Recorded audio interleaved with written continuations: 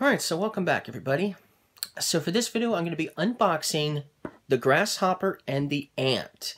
Now this is my second game from IELLO Games, and this is also my second game that's part of the uh, Tales and Games series. So my uh, first game that I own for this series is uh, the uh, the Hare and the Tortoise, and so this time it's the Grasshopper and the Ant.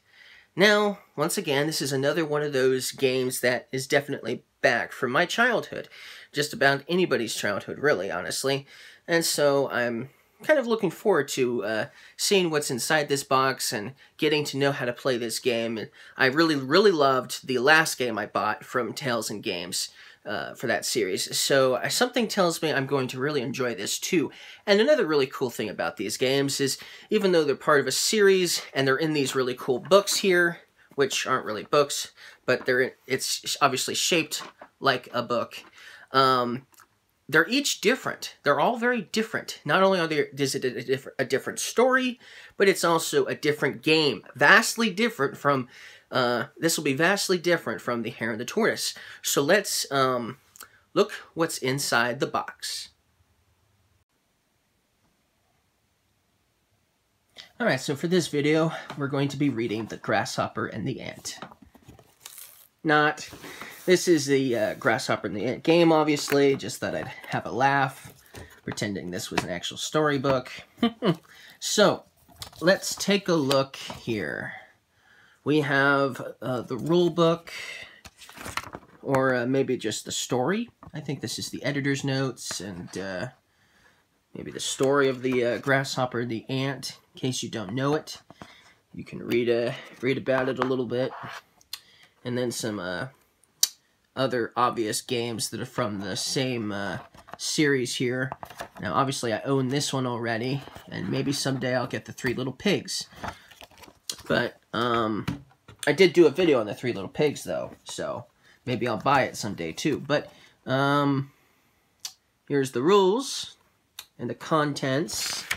Not a huge rule book, obviously, because it's, you know, it's supposed to be an easy game, right? So, um, you don't need a ton of rules for an easy game. So, pretty cool. Okay, simple rule book. We got some stickers here. So I, I think these are stickers. Yes, they're stickers. So we'll be sticking these, uh, I think these are grasshoppers, and I think these are the ants.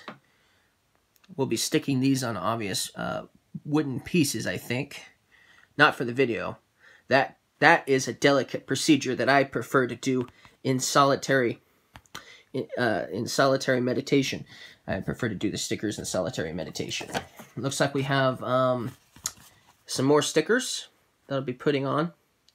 Looks like that's some sort of like picnic, uh, maybe uh, blanket or something uh, to signify. I don't know. Um, but yeah, some more stickers. And then we got this, uh, I think this is a scoreboard maybe, or just, uh, I'm not sure. I'm not sure, but it's got nice art, art, nice artwork though, right? Very nice artwork. Oh, okay, here we go. Looks like we've got if I can get it out. So there's only one grasshopper actually, and it'll be uh, you'll be put We'll be I'll be putting uh, the stickers on both sides of this uh, this thing that signifies the grasshopper. So that's cool. And then we've got looks like we got some discs here that I think those other stickers I think they'll be going on these various uh, discs for some I'm not sure what these are for. I don't know too much about this game. So it'll definitely be a new experience learning how to play this game. Um, let's take a look at those next. There's looks like there's, I think these are the ants. Yeah, here we go. So we'll be putting the ant stickers on on these black ones, and there's more than one of these, which makes sense because there's usually more than one ant, right? So there's several of them, obviously.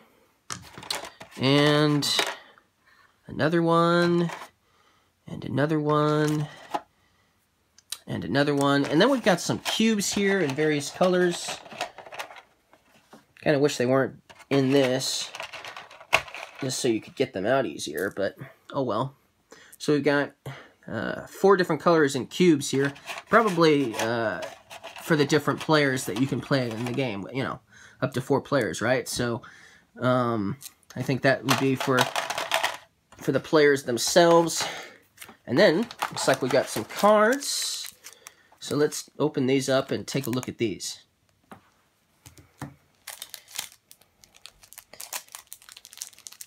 So, the cards were fairly easy to open up, so that's good. So here's the cards. Oh, let's, they're upside down. There we go. So, it looks like a mosquito. And that looks like a beetle. So, and so yes, the grasshopper and the ant, the original story, there was only the grasshopper and the ant, right? Well, that's the same thing with the tortoise and the, the Terror and the tortoise the original story, the hare and the tortoise were the only two real animals in the game, or should I say in the book, right? But when they made the game, they added a whole bunch of extra animals, right? So I guess it would make sense that they would add more animals to the game for the grasshopper and the ant, just like they did with the other story story game.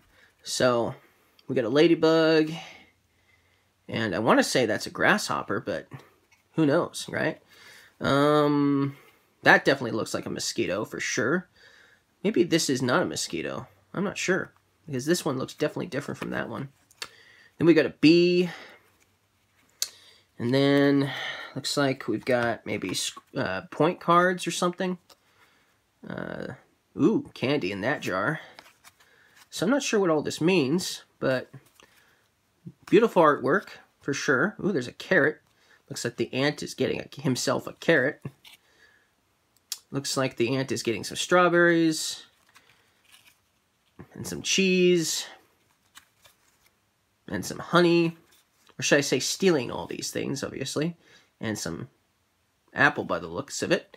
And it looks like there's a worm inside of the apple anyways. So hey, he's doing the human a favor, if you ask me. Okay, so that's cool. Um, then we have these. Okay, so we have these. And so, there we go. Now it's not upside down. So some of them have insects, some of them don't, but it's like various different tile. Maybe this is sort of like a board version of a game. Uh, we'll be probably laying some of these out during the course of the game. Probably. They're very thin. So, uh, uh, got to be careful with them. You don't want to bend them or something, probably. But they're pretty thin.